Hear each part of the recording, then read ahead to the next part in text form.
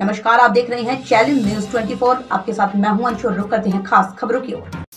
उत्तर प्रदेश की विधानसभा के लिए हमीरपुर ज़िले में भारतीय महागठबंधन मंच ने शुरू किया प्रचार प्रसार। हमीरपुर ज़िले में उत्तर प्रदेश की राजनीति में भारतीय महागठबंधन मंच द्वारा अनेक राजनेताओं ने एक होकर चुनाव जीतने का भरोसा दिलाते हुए चुनाव प्रचार शुरू किया।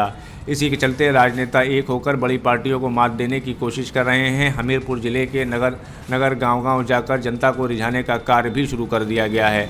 आज सुबह से ही नगर सरीला में सभी राजनेताओं ने एक साथ मिलकर वाहनों द्वारा भ्रमण किया तथा नगर के प्रमुख चौराहे तिराहे पर भाषण दिए। साथ ही वर्तमान सरकार प्रति के वार की है और आने वाली विधानसभा में भारतीय महागठबंधन मंच के नेताओं को ही वोट करने की अपील की। प्रचार प्रसार के समय स्वतंत्रता, स्वतंत्र जनता पार्टी के अध्यक्ष घनश्याम कोरी जी व अखिल भारतीय अशोक सेना के अध्यक्ष महेंद्र कुमार कुशवाहा व लोकतंत्र सुरक्षा पार्टी के अध्यक्ष सादेश अली व गंगा कुशवाहा समेत नगर के कई गणमान्य व्यक्ति भी प्रचार प्रसार के इस कार्यक्रम में शामिल रहे।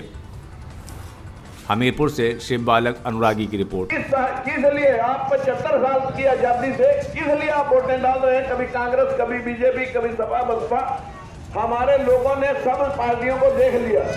देखने के बाद जो आज का फैसला है वो ये है कि इसमें ग्राम में आयोजित इस पावन भूमि पर उपस्थित इस नगर के प्रतातुल बुज़ुर्गों नौजवान साथियों मेरे अनसफर साथियों प्यारे प्यारे बच्चों आज़ादी के इन चौहत्तर सालों में आपने लगभग 102 वोट एक व्यक्ति ने डाले। डाला है, एक पाँच वर्ष में छह वोट डलते हैं और सत्रह बार लोकसभा, सत्रह बार विधानसभा पीडीसी प्रधानी, जगत सब हो चुका है। तो सत्रह छिक्का एक सौ दो, एक सौ दो वोट डालने के बाद आप कहाँ खड़े हो जो मेरा आपको सवाल है। आप बालू के ढेर पे और नीचे आके खड़े हो गए हैं। आपने जिनको वोट दिया, उन्होंने आपके लिए कभी नहीं सोचा।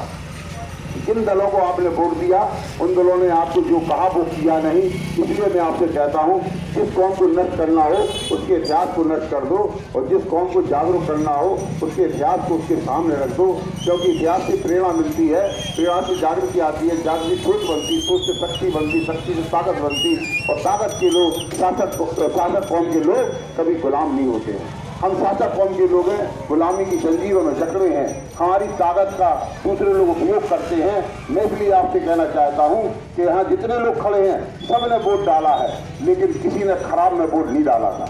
डाला किसी ने खराब में वोट? हाथ उठा बताओ। सबने अच्छे में डाला था, लेकिन हुआ क्या है? खराब। आज आप एक खराब